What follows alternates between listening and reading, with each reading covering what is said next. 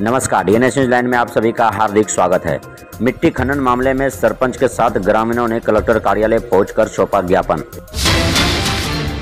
दादरा नगर हवेली के बाल देवी विस्तार में चल रहे मिट्टी खनन के मामले में गुरुवार के दिन बाल देवी के सरपंच मीना बहन, सिलवासा नगर पालिका वार्ड नंबर तीन के सरपंच सुमन भाई पटेल और ग्रामीण कलेक्टर कार्यालय पहुंचकर मामलादार को ज्ञापन सौंपा। इस दौरान सरपंच सुमन भाई पटेल और ग्रामीणों ने क्या कहा, आइए सुनते हैं। उससे पहले अगर अभी तक आपने D N news line channel को सब्सक्राइब नहीं किया तो चैनल को सब्सक्राइब कर लें। नोटिफिकेशन बेल आइकन को दबा दें, ताकि दादरा नगर, हवेली, दमन दीप एवं आसपास के सभी खबरों से हम आपको सबसे पहले रूबरू करवाता रहूँ। धन्यवाद। मेटर दो तीन दिन से हो रहा है। तो बाल देवी जो शमशान है, वो माटी खनन, माटी भर के ले जा रहे हैं। इक्कीस तारीख को चार गाड़ी लेके गए। कल पूरी नाइट लेके गए। हमने माननीय कलेक्टर साहब के नॉलेज में भी ये डाला है। आज उनको लेटर भी दिया है। हमारे माननीय एमपी मैडम कलाबेन डेलकर को भी ये मैसेज मिला है। कल पूरे गाँव वाले कलाबेन के पास भी आए थे। हमने रूबरू मुलाकात अभी मामलेदार साहब से भी क्या हुआ है। कि में रॉयल्टी यहाँ बंद है तो ये लोग माटी खोद के कहाँ ले जा रहे हैं? तो माटी बंद होना चाहिए। हमारा दूसरा कोई इश्यू नहीं क्योंकि हम लोग भी चुने हुए लोग हैं। पूरे बाल देवी रथोला गाँव का वहाँ शमशान है। बहुत पुराना शमशान है। तो वो गाँव वाले हम लोगों को टोर्चर करते हैं कि यहाँ से माटी ले जाएगा तो शमशान कहाँ जाएगा। ऐसा जानने में आया है कि वो खागा है। तो जगह है तो उसकी तपास करें आज तक उसने कब्जा भी नहीं लिया है कुछ नहीं। और साथ में ऐसा भी जानने में आया है कि दो दो जगह पे प्लॉट में। अगर परमिशन होगा तो हम लोग कुछ करेंगे नहीं कोई रोकेगा भी नहीं।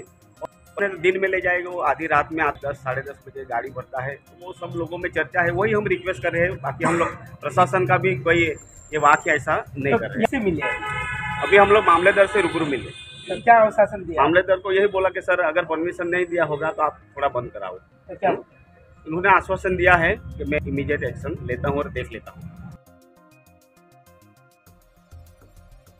मेरा कहना यह है हम अभी मेरा भी फिफ्टी प्लस हो गया है। हम बचपन से देखते आ रहे हैं कि हम लोग पहले से देखते आ रहे हैं आज तक किसी का कब्जा ही नहीं। और अभी कैसे करके नाम पे हो गया उनका? नाम पे हुआ कैसे करके वो पता नहीं हमको तो अभी। लेकिन उन लोग बोलता है कि हमारा नाम पे ज़मीन है हमारा नाम किसके नाम मालिक के नाम पे ऐसा करके। तो वो लैंडलेस प्लॉट मिला है। लेकिन नाम तो मालूम नहीं है इतना खास। लेकिन वो सात बारह वगैरह अभी हम निकालने के लिए बोला है। नहीं उन लोग को बताया कि हमारा नाम पे करके। हमारा नाम पे ज़मीन है मेरा चाचा के नाम पे ज़मीन है ऐसा करके बोल रहे हैं। अच्छा रमेश भाई। हाँ तो हम लोगों ने बोला है कि तुम्हारा नाम पे हो तो हमको पूरा पूरा हवा दीजिए।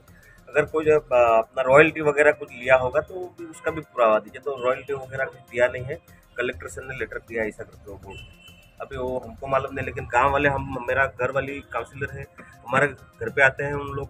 फ़ोन करते हैं बार बार फ़ोन करते रहते हैं कि भाई आओ, ये क्यों हो रहा है, ये क्यों हो रहा है? क्योंकि हम लोग, मैं तो बचपन से ही देखते आ रहा हूँ कि कोई किसी का कब्जा नहीं था, कुछ नहीं था, अभी भी किसी का कब्जा नहीं कोई घर वगैरह ऐसा कुछ है ही नहीं। और अभी आके खोदने चालू कर दिया उन लोगों ने। अभी कम से कम दो तीन बार ऐसा, ये चौथी बार हो रहा है। पहले बंद करवाया था, बंद करवाया था और जीसीपी वगैरह रॉयल्टी ने इस गाड़ी भी पकड़ के रख दिया था उन लोगों ने। अभी उसमें क्या हुआ था, वो तो हमने डिटेल में नहीं लिया लेकिन हमारा ये है कि बंद हो जाएगा तो वही बढ़िया रहेगा।